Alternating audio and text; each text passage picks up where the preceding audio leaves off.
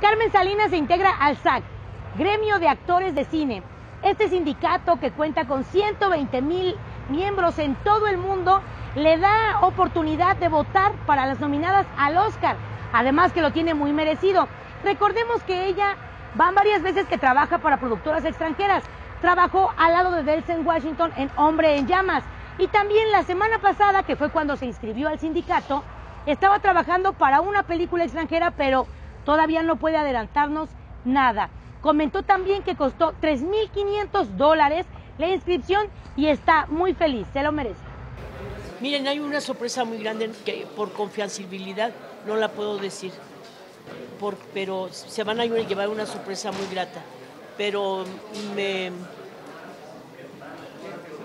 los productores con los que estuve trabajando ahora en Estados Unidos este, aparte el, sindicato de actores de allá de Estados Unidos me invitaron para que fuera este, socia de, ahí, de, ese sindicato que es muy difícil entrar, muy difícil y, me, mandaron por, por carta. Sí, ábreme. La presumimos bien. Ahí está, ni la he despegado. este, tengo mi credencial de como actriz de allá del, sindicato de actores de, Hollywood, de Estados Unidos. ¿Y eres la única que recibió ese? No, yo creo que deben de tener a todos los que han trabajado allá. Me dio mucho, yo, no lo podía creer de que me de que me, de que me invitaran para estar en, el sindicato de actores de Estados Unidos.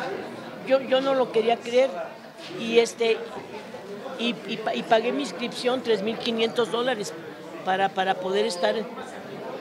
Y hasta decía Gustavo que no me han mandado, no me hayan transado y que, y que me va llegando. Y a mí me daba mucha risa. Dice, no, tía, como que ese es un sindicato serio. Y además te presentaron los productores con los que estuviste trabajando. ¿Qué beneficios tienes con este? Todo. ¿Cómo que me Porque aquí en México, lamentablemente. Ah, todo, todo. Este, allá te, te dan este hospital, medicinas, todo, todo ya puede trabajar sin, tener tantos, y, incluso puedo votar este por por, el este, Oscar. por, el Oscar. Me, van a mandar las películas. Todos me dijeron los los beneficios que hay. Me, me van a mandar las películas que estén nominadas al Oscar para que yo las vea. La viejilla ahí viendo las películas. Ella celebró su santo al lado de muchos amigos que la quieren y también al lado de los compañeros de la prensa. Se molestó cuando le preguntaron acerca del despido de Carlos Eduardo Rico. ¿Y quién es Cafie? Yo no tengo nada que hablar de él. Yo hace mucho que no lo veo y hay dos gentes que desafortunadamente nunca quisieron este, tener un respeto por mí y yo tampoco tengo por qué tenerlo por ellos. No, no, no, no tengo que hablar, vine a hablar de, otra cosa, no hablar de, ese señor que me mencionó, yo ni, yo ni sé ni quién es.